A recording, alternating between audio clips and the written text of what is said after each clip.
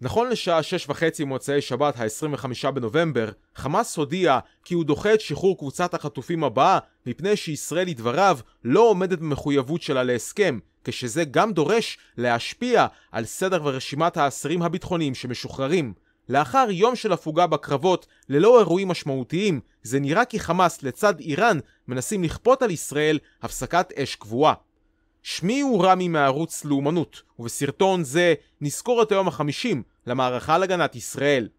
במהלך ימי ההפוגה, חמאס ואיראן רוצים לבנות בסיס תעמולתי חזק מתוך רצועת עזה שיסקר באופן נרחב את המשבר ההומניטרי, להניח את היסוד לכך שישראל גורמת סבל מיותר ברצועה וממשיכה מלחמה שאותה יש לסיים.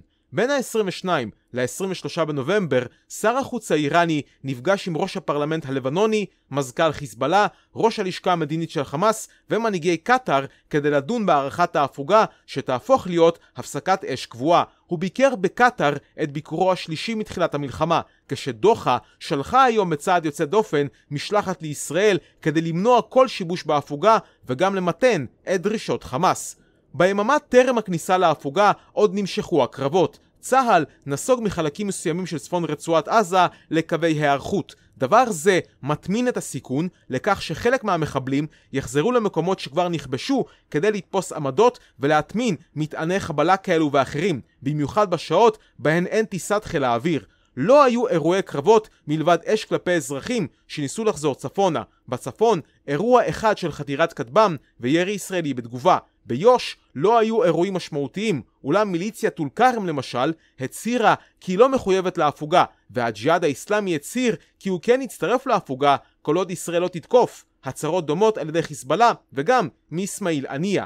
לעומת זאת החות'ים הצהירו כי הם ימשיכו את המאבק בישראל ומחויבים למנוע מעבר ספינות ישראליות בים האדום. בתוך כך, ספינה בבעלות ישראלית הותקפה על ידי כטב"ם מתאבד איראני באוקיינוס ההודי.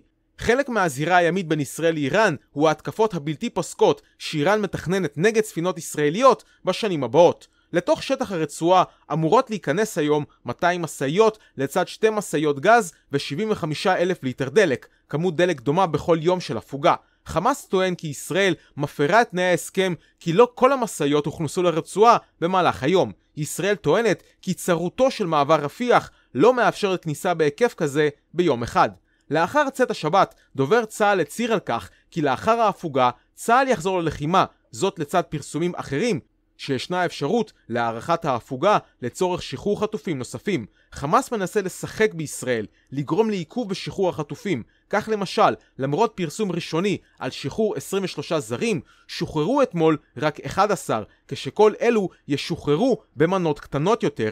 יהיה התירוץ לכך אשר יהיה, ככה ההפוגה תתארך ואיראן תוכל לבנות מספיק לחץ תקשורתי ודיפלומטי נגד ישראל כדי לסיים את המערכה בעוד היא ממשיכה לאיים ולתקוף בזירה הימית.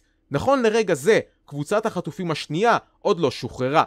זו הייתה סקירה של ערוץ לאומנות על היום החמישים למערכה להגנת ישראל. אם אהבתם את הסרטון, אתם מוזמנים לשתף אותו ולהצטרף לערוץ כמנויים.